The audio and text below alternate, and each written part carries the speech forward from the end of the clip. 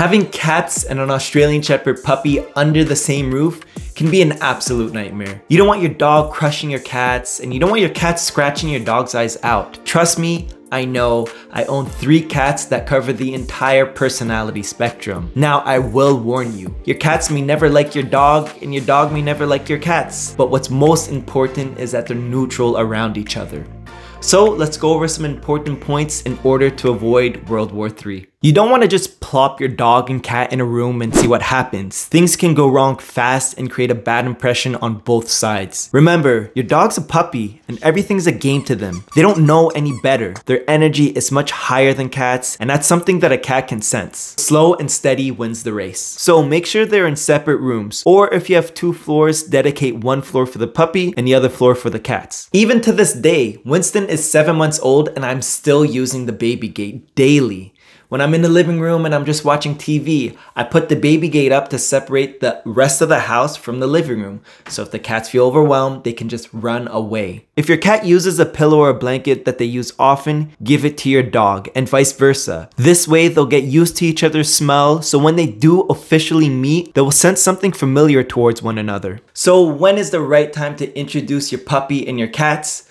Honestly, that's up to you guys and don't let anyone else tell you otherwise. You know the personality of your cat, you know their temperament, you know what they can withstand, so use your best judgment. But before even doing this, you need to make sure that your cat has a safe place to run to either a cat tree, on a couch, on a table, somewhere where the dog can't get to them. And this is really important. Cats are curious by nature. They'll eventually warm up and observe your dog. Just stay patient. As your puppy gets older, they might exhibit resource guarding behaviors towards your cats. Obviously, no owner wants to see this, but this is something real and it needs to be recognized. And to be honest, I get it. The dog's food is their food. Their bed and their crate is their bed. This is what makes them feel safe. So why would they want to share that? Don't panic if this happens. It's normal and it can fade out over time, but don't expect it to. At the moment, Winston is resource guarding towards the cats. So how do I deal with this? It's very simple. When I'm feeding Winston, I don't let the cats near him. I don't let the cats near his bed and I don't let the cats near his crate. One thing to remember is that these dogs are herding dogs. They chase other animals, it's built into them. So when you see your dog observing your cat, that's totally fine, that's actually great. But when they start pursuing and fixated on your cat, that's when you need to step in.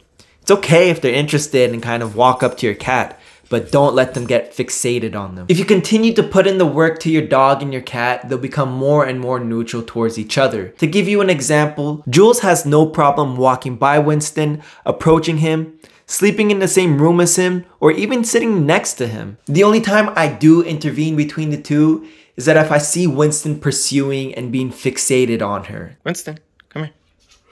On the other side of the spectrum, we have Gus, and Gus wants nothing to do with Winston. He is neutral, but he's also cautious around him. So what do I mean by this? Well, Gus will sleep in the same room as Winston, that's fine. But if Winston approaches Gus, he'll smack him, he'll hiss him, and it's not just a little tap. So I don't allow Winston to go near Gus. So how do you avoid this fixation and this pursuing behavior? That's another very easy answer. That is, you need to exercise your dog daily. And I mean physically and mentally. It depends on their age. When they're a bit older, like Winston's age, you need an hour and a half to even four hours of exercise a day. You want them to think when they're looking at a cat, they're just like, hmm. You want that neutrality. You want him to be so exhausted that he just couldn't be bothered to chase your cat. This is the single best advice I can give you. Get your dog tired to the point where he doesn't even want to get up. He's already going to be sleeping for most of the day. So when he is up, he's going to be full of energy and ready to go. So it is possible to live with an Aussie and cats. You just have to put in the work. Let me know how your guys' journey is going. Please consider liking and subscribing, and I'll see you guys next time.